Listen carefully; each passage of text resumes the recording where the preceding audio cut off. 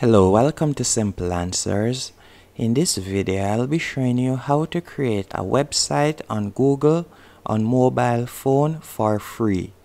As you can see right here, I'm currently on my mobile device and the steps that I'm about to show you works with both Android and iPhone. The first thing you want to do is type in Google Sites once you have searched for Google Sites, you want to request desktop website. So if you're on an iPhone, you want to tap on the capital and common A in the search bar. And you're going to tap on request desktop site. And if you're on an Android device, you would tap on your profile pic in the top right hand corner and tap on request desktop website. This step is very important except it won't work. After you have requested desktop version, you are going to tap on Google Sites Sign In.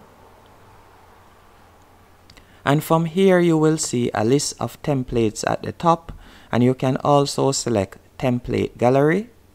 And you can tap on any one of the templates that you would like to use. For example, I'll be using the portfolio example. And from here, you can simply tap on any section that you would like to edit. And to make your editing experience even better, I would recommend that you turn on landscape mode. So you'll simply slide up or down depending on the device that you're on and turn off portrait mode and then you'll turn your device slant as you can see right here.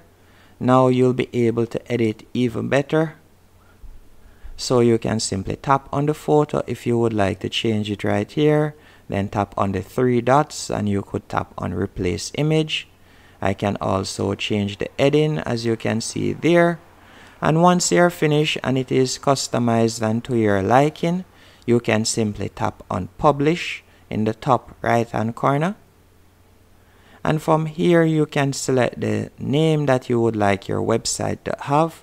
Mine would be simply the best and you will tap on publish. And by tapping on publish your website will be live.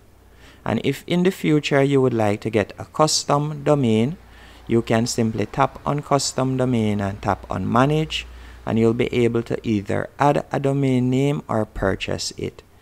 Hope you found this video helpful and informative.